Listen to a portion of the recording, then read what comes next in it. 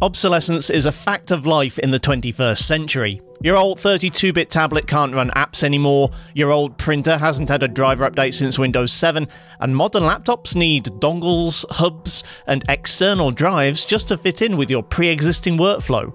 The PC industry has built entire edifices on the flakiest of foundations, but the one that concerns us today relates to graphics cards.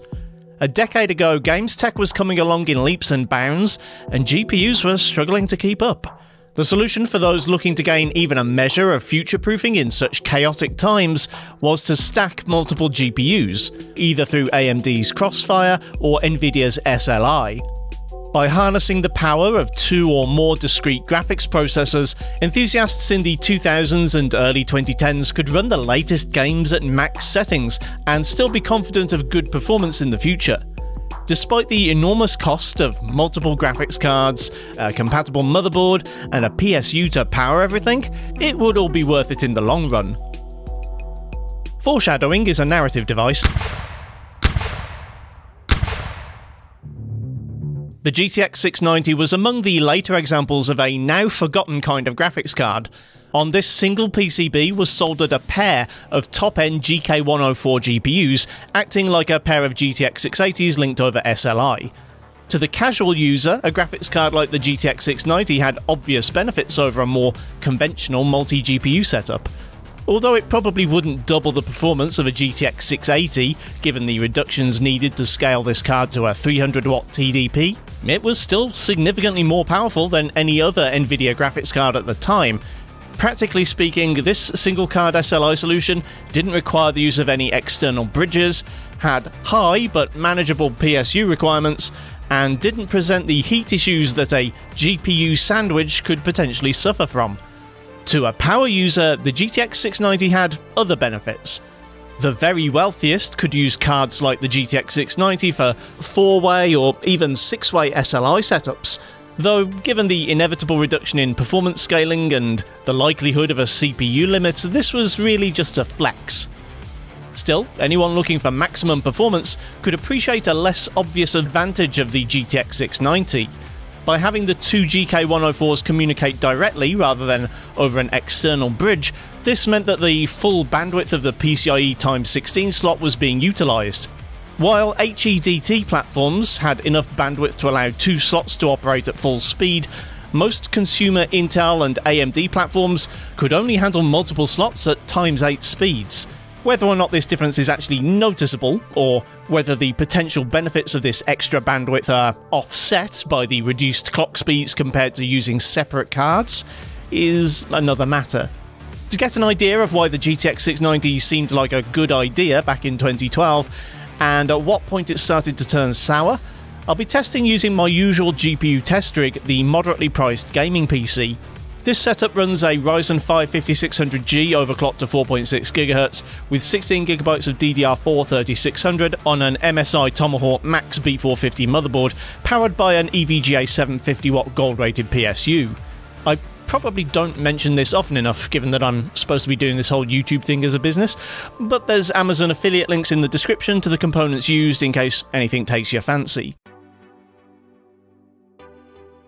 The sequel to the original PC Melter, Crysis 2 represented a less frustrating experience for PC enthusiasts. Unlike the first Crysis, GPUs available at the time could actually play the game with some acceptably high settings. The GTX 680 and 690 released a year after Crysis 2 hit shelves, and, on paper at least, either GPU was sufficient to run at 1080 with max quality settings, with a single GPU able to run at a 60 plus average, and the dual GPU card scaling almost perfectly to 113 FPS. This didn't necessarily reflect a perfect experience, however, I found neither the single nor double GPU config gave a genuinely smooth experience, with even the high frame rate of the fully unleashed 690 not really feeling like a high frame rate experience. To be fair to the hardware, this was the only game I tested that felt like this, and I don't have that much experience with Crysis 2, so it's possible that this is a software issue rather than a hardware one. The biggest release of 2011 was The Elder Scrolls Skyrim, a game which is designed to work with a 60 FPS lock, though that can be negated fairly easily in Nvidia's control panel. I hear the physics can act up if you run above the 60 FPS mark, though I didn't really play long enough to notice any issues of that kind. What I did notice on both the single GPU run and the double GPU run was a lot of flickering. I actually ran the dual GPU config first, and so naturally assumed it was an issue related to using SLI, but seeing it reoccur with the second GPU disabled made me reconsider that. Given that the game is intended to lock at 60, choosing a GTX 690 over a 680 would have been a meaningless flex for anyone running at 1080 or lower, as both cards would net over 100 FPS at max settings.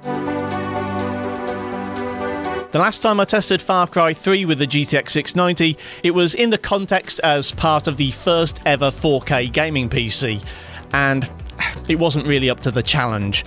At 1080 things are a lot more realistic for both the 690 and its single chip cousin. A GTX 680 owner could happily run max settings at over 60 FPS on average, with 1% lows just below 50. The addition of a second GK104 doesn't scale quite as perfectly as with Crysis 2, but the performance difference is very much noticeable. Averages are now up over 110, and 1% lows push above 65. High refresh LCD monitors were extremely uncommon in 2012. In fact, I think there might have only been one, but even at 60 or 75 Hz, the smoother frame tracing should have been appreciable.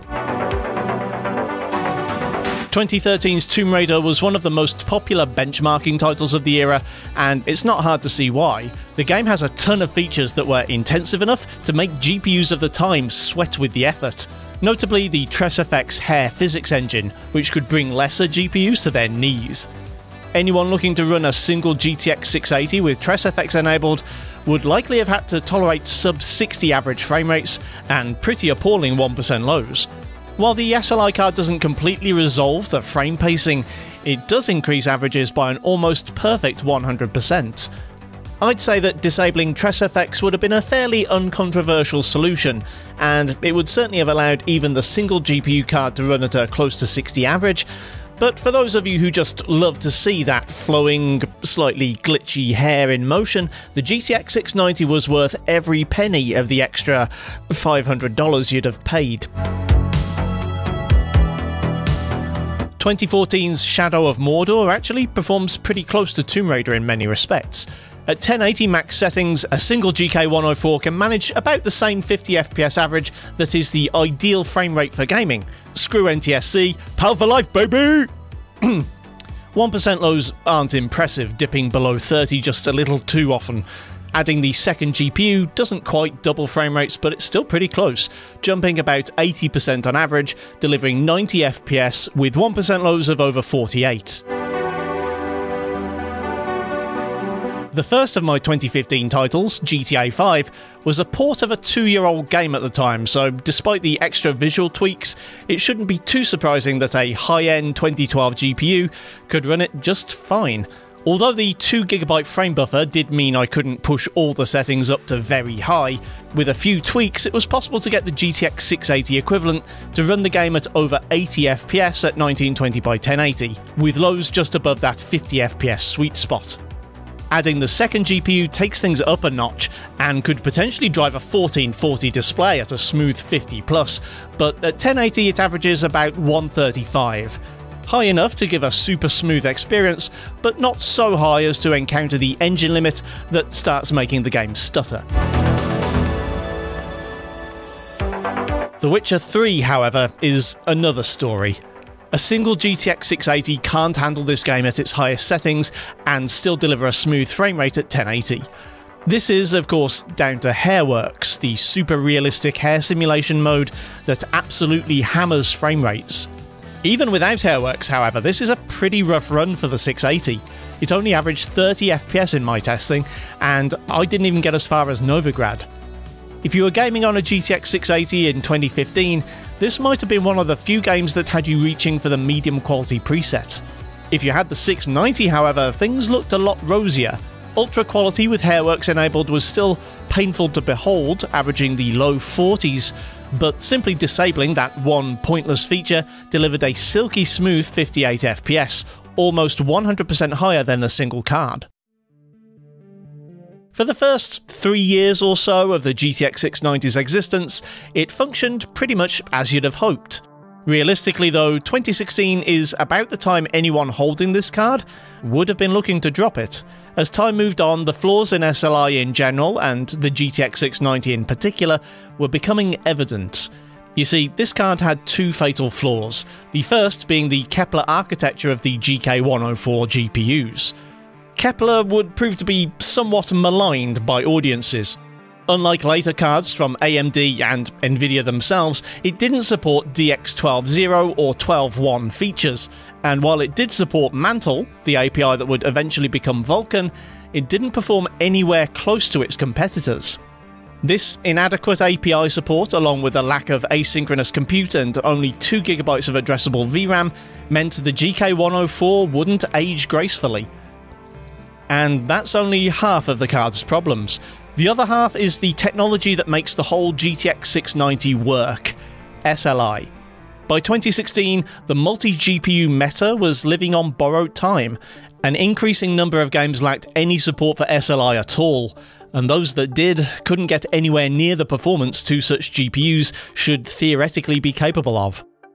Hardware aside, if any game tested so far today were going to be stuck at 30 FPS, you'd be glad it was Hellblade Senua's Sacrifice. This game looks too good to drop to low settings, but it doesn't demand a high frame rate for you to enjoy it. That being said, considering only two years previously the GTX 680 could run AAA games at 50 FPS or higher, 28 FPS definitely feels like a really steep drop in performance. SLI isn't the saviour you'd hope for either. Averages on the fully enabled GTX 690 jump by only 10 to 15% over a single GPU setup. Three years earlier, the GTX 690 was running GTA 5 so fast, you had to turn quality up to make sure it didn't hit the frame rate cap.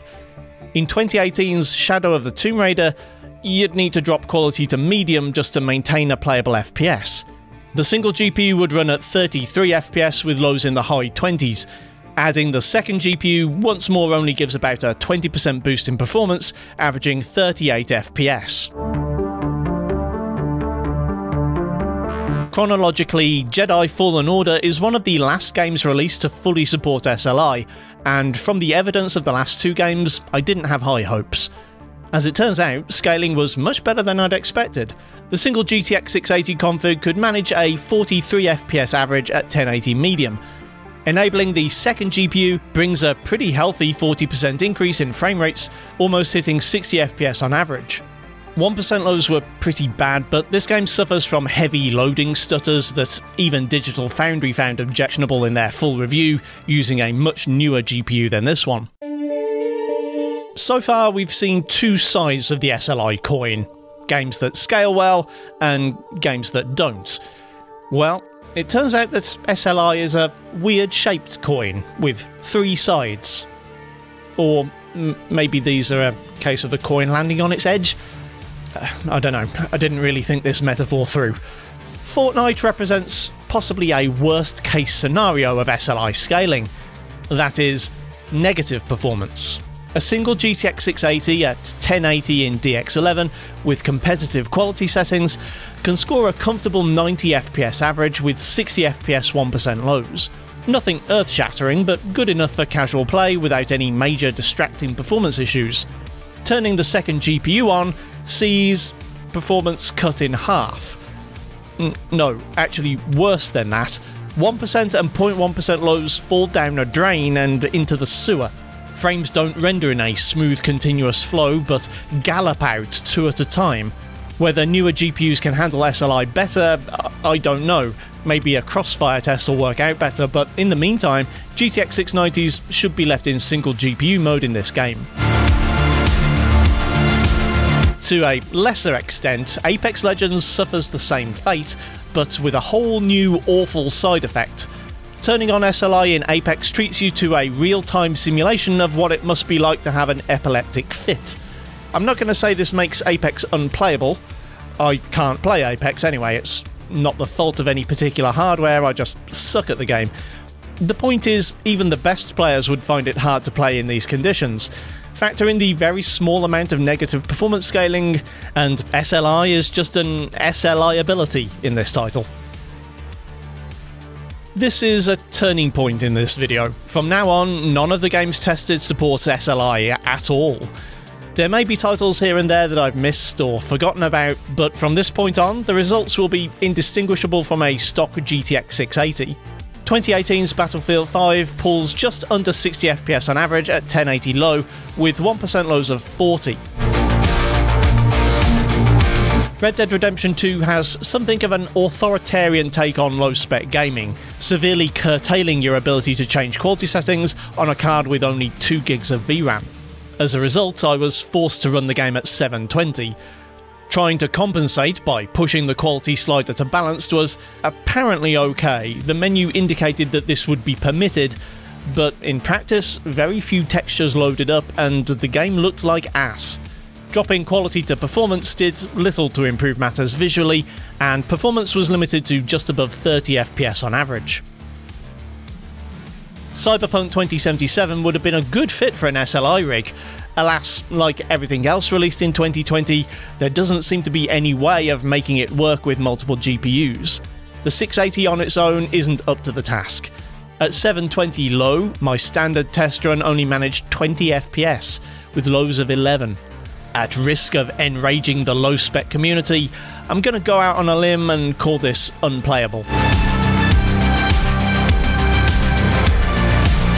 And if Cyberpunk was unplayable, then I think we need a new word for Spider Man Remastered. While swinging through Manhattan, the game periodically stops to let you enjoy the view while it loads in textures and assets. this is. Well, it's pretty funny, sure, but also kind of sad. A $1,000 flagship GPU reduced to waiting while the brickwork loads in. And that's just the games that started. God of War requires DX11 1. Elden Ring requires DX12 0, as does Halo Infinite. And while Forza Horizon 5 used to work with older architectures like Kepler, apparently a game update nerfed that feature a few months ago. These four, and an increasing number of others, won't start on Kepler based GPUs without taking more drastic action. Even those that do start won't be optimised for Kepler, as driver support for this family of cards was terminated in 2021, meaning the GTX 680 and 690 are at something of a dead end. At this point, I wanted to bring in some context, because with the exception of games that flat out don't work, it's possible to look at these numbers and think that it could be worse, that the GTX 690 wasn't a bad purchase, and that maybe I'm being unreasonable expecting it to last this long. The Radeon HD 7970 was launched by AMD four months before the GTX 680 and six months before the 690. As well as benefiting from AMD's much vaunted fine wine updates over the last decade or so, this card had DX11 feature support, asynchronous compute, and an extra gigabyte of VRAM. As a result, God of War not only starts, but actually can run at a steady 30 FPS. Fortnite runs a little slower than the 680 at 80 FPS rather than 90, but Apex runs twice as fast on the AMD as the GeForce. Cyberpunk isn't just playable at 720, it's playable at 1080. A pair of HD 7970s, or the 7990 released in 2013, would probably still have suffered the same multi GPU woes as the 690 did, but the GCN card's more forward-looking architecture and RAM configuration seems to have lent it at least a little more utility over the last decade. But lest we descend into tribalism, what about Nvidia? If you'd sold your GTX 690 in 2014, a single GTX 980 could have been the wisest purchase you could have made. The original Maxwell card would not only have been able to run all those games that didn't start on the 690, it would have done a pretty good job of it too. Fortnite and Apex run more than twice as fast on the 980 as on the 690. Spider Man not only runs faster, but at much higher settings and without having to stop to load stuff. RDR2? Twice the pixels, twice the frame rate, and far higher quality all round. Plus, if your money really had been burning a hole in your pocket, you could always have bought a second card. We can all learn from the fate of the 690. we've been pretty fortunate that the last four generations of GPU, over nine years, are all still supported in the latest games. The shortages of the last couple of years have shown how fragile this state of affairs can be. There is no such thing as true future proofing. You never know when a GPU manufacturer facing hard times is going to be forced to restructure or lay off its legacy driver development team. You never know when a seemingly innocuous feature of a GPU architecture suddenly becomes the arbiter of whether you can play a new game or not. And you never know when a piece of proprietary tech that was promised as a revolution will be forgotten within a couple of years or made obsolete by a vastly superior successor. What advice can I give?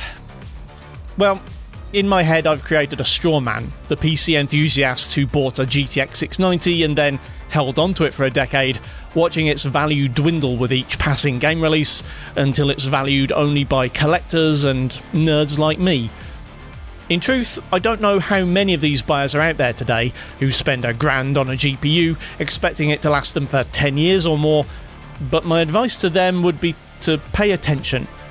If you must spend that much money on a graphics card, try not to become too attached to it. Sometimes, when we're attached to something we've spent a lot of money on, we go out of our way to defend it against perceived attackers.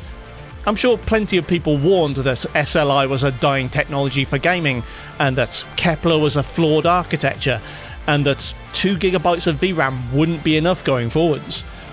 Someone who owned a GTX 90 but listened to its critics could have made a wise decision and sold when it still had some value. I plan on looking at Kepler one last time, as I try to use some workarounds to play otherwise incompatible games, so keep your eyes peeled for that video in the next few weeks. I'll also be building a follow-up to my original 4K gaming PC, this time using an AMD Crossfire multi-GPU setup. When that video goes live, it'll be linked on screen now. In the meantime, here's that video where I see how the GTX 690 performed as the first sort of 4K gaming GPU. Thanks for watching, kindly do the usual YouTube things if you feel so inclined, and I'll see you next time.